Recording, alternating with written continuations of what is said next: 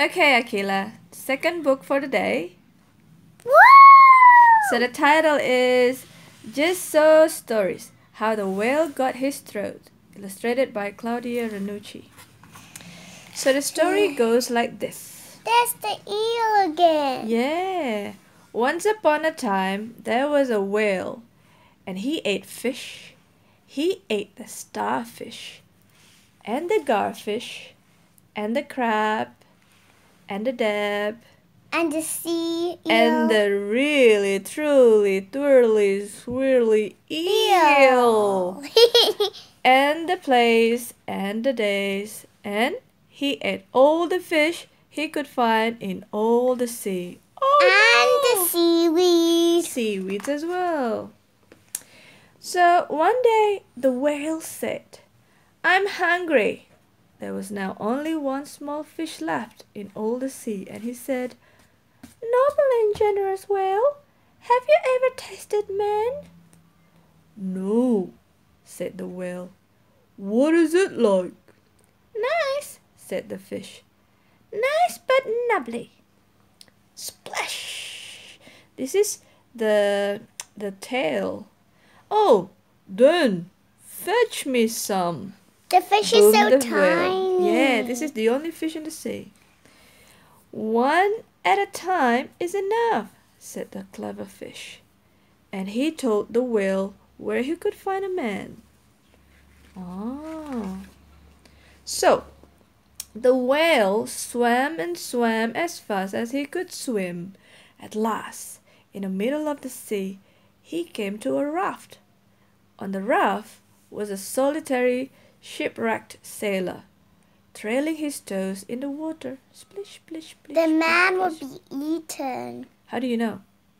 because it's called a man. Oh, yeah, you're right. he wore blue trousers, held up braces, and carried a knife. Where's the knife? Over here. Yeah, and they were the only things he had left in the world. Wow. He's in trouble. In the middle of the sea. The whale opened his mouth. Whoa, back and back and back till it nearly touched his tail. And he swallowed the sailor in his blue trousers and braces, and his raft, and his knife. Glup. Ooh! He swallowed them all down into his warm, dark inside cupboards. Then he smacked his lips. Turned round three times on his tail. Ooh! I ate a man, he said.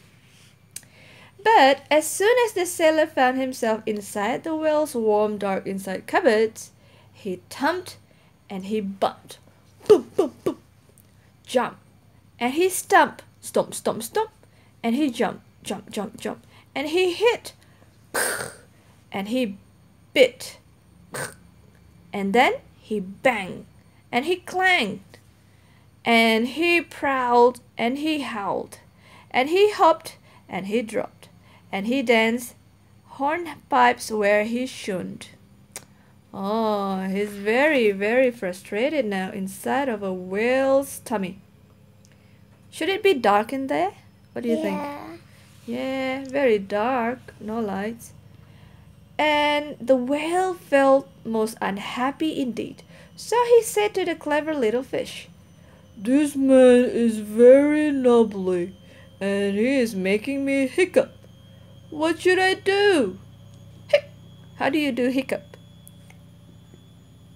Tell him to come out, said the fish. Oh, so the whale called down his own throat to the sailor. Come out and behave yourself. I've got hiccups. No, said the sailor. Take me home and I'll think about it. And he began to dance more than ever. You had better take him home, said the clever little fish. So the whale swam and swam and swam with both flippers and his tails and his tail as hard as he could with his hiccups. Hiccups. He's very hurt. Yeah, poor whale. Do you feel, you know, uncomfortable when you have hiccups? You do? How do you feel? I thought you was talking to the whale. Oh, yeah, sorry, I was talking to you. And this is very clever small fish indeed. So what happened inside that the whale's tummy? The man built another loft. Right, but while the whale was swimming, the sailor took his knife and cut up his raft to make a little square grating all running crisscross. Crisscross, crisscross, crisscross. The knife. He tied it firm with his braces, and he wedged that grating good and tight into the whale's throat. And there it stuck. Make it stuck. It's like a, like a filter. At last the whale saw the shore, and he rushed halfway up the beach and opened his mouth wide, wide, and wide, and said, We're at your stop. Time to go, said the whale. The sailor stepped out on the beach, and he went home, where he married and lived happily ever after. But before he went, he waved goodbye to the whale and sang, By means of a grating, I've stopped your eating. How did he stop the whales from eating? ha ha ha! Ha The clever little fish went and hid himself in the mud just under the door of the equator. Shh! He was afraid that the whale might be angry with him and the whale didn't find him. Not until he got out of his temper, and then they were good friends again. From that day on, the grating in the whale's throat, which he could not cough up or swallow down, stopped him eating anything except very, very small fish. See? These are so small. And all he can do is open the, the mouth wide The eel's there. yeah, the eels are safe now. They don't eat the. He doesn't eat eels any eels anymore, and the starfish, and the crab, and of course bigger fish. and the stingray. oh yes, stingray, the starfish and the garfish and the crab and the dab and all the others were most relieved. and that is the reason why whales today never eat sailors, or little boys, or little girls. The end. You like the story? Yeah.